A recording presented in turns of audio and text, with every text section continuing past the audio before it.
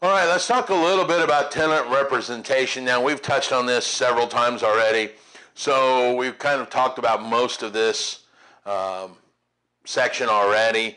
Remember that you, when dealing with your client, you can be a lister, uh, listing agent, or you can be the selling agent, or you can be limited agent.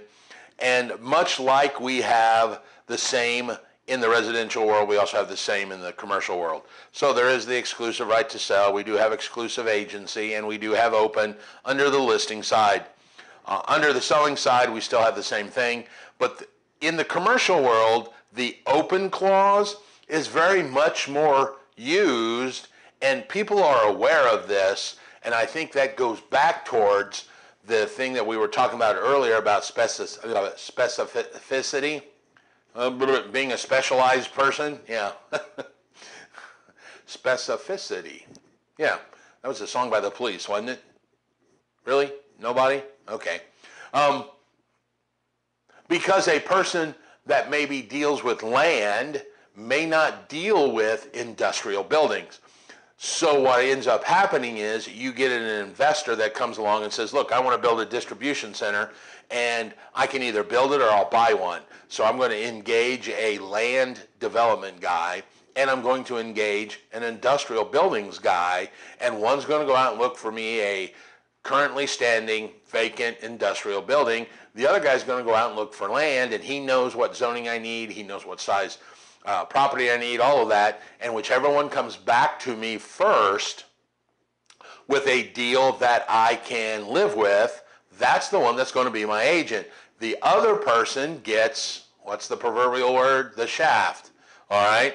And as a commercial broker, you better be used to that, especially when dealing with buyers, because that's very common for them to go, hey, look, I've engaged in a uh, guy on the north side and a guy on the south side because I could go either place. I'm just looking for 15,000 square foot. It's got to be I2, U, zoned, yada, yada, yada, and go.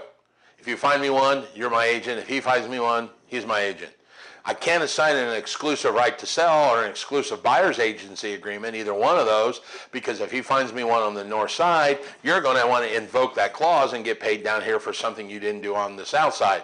So I enter into an open agreement. You dance with the one that brought you.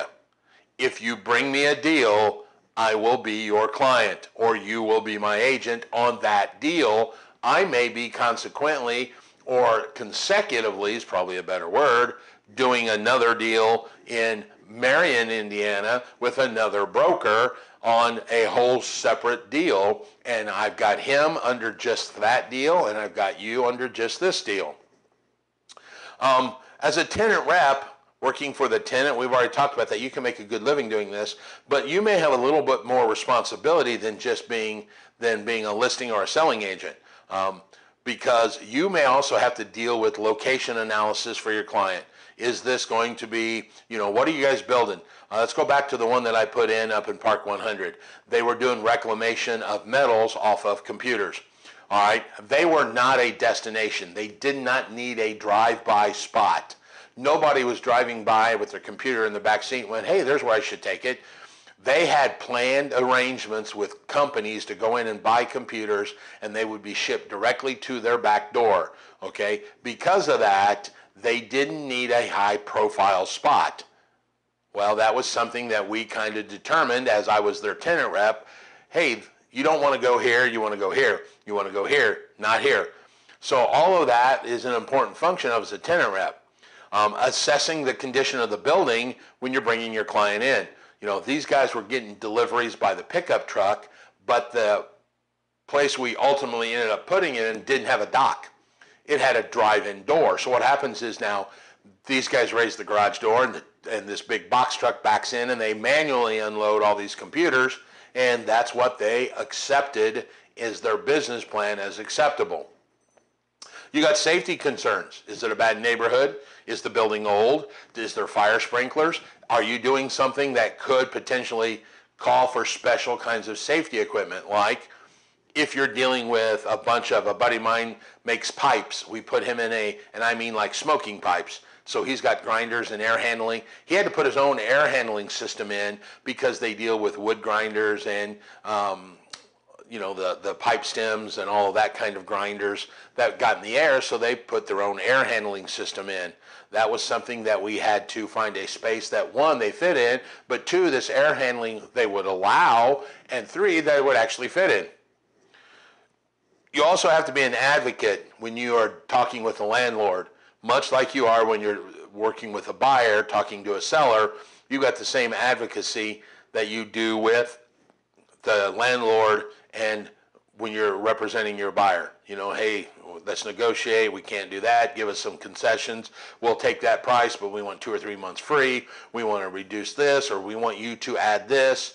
Um, you know, for instance, uh, the one with the pipe, uh, we wanted them to take a room out, and for that we would sign a three-year lease. All right. They come back and said, we really would like a five-year lease. And Nate said, okay, here's what we'll do. We'll do five years, but uh, on top of taking that room, one room out, obviously, hence the flex, like we talked about, because they wanted more manufacturing space, less office.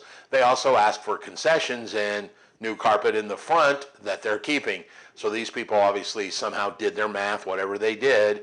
Their black magic rolled the chicken bone mumbo jumbo and came back and said, yes, if you sign the five-year lease at this rate, which is in our acceptable range, we'll put new carpet in the front, flex the office space smaller, i.e. meaning taking out some of that back office space, and allow you to put in your own air handling unit at your cost, of course. My client said, okay. Uh, and we took that. Now rep- remember that you guys are not attorneys, so you have to be real careful. The negotiation's not an issue, but obviously writing the contract and if you allow your landlord to write that contract, mm, duh, McFly, how do you think that contract's going to look favorably when you look at it? the very first one we got, I remember Nate looked at it and he called me and he said, well, first of all, it was like 19 pages. So he calls me and he's like, Raymond, this is written in the landlord's advantage on everything. I'm like, hello, Nate. Who do you think it was written by? It was written by the landlord's attorney. We need to engage a guy now and let him look at this lease and negotiate some of the points. Well, we ended up finding a couple that we could wiggle in and accept, and we actually added a point or two. But, you know, you're not an attorney. You need to engage an attorney because just like a purchase, a lease is negotiable, especially in the commercial world where you're dealing a lot more division of labor. And what I mean by that is the tenants improvements are on me, you know, the paint's on me, uh, taxes are on you, yada, yada, yada. So we got to make sure we clear all that out. All right, well, I'm just a tad bit over. I thank you all for staying.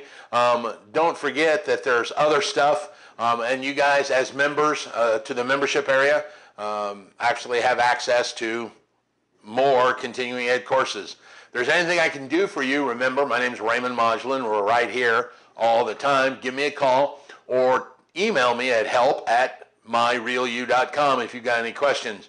All right, until then, I thank you very much and invite you back uh, anytime. Bye.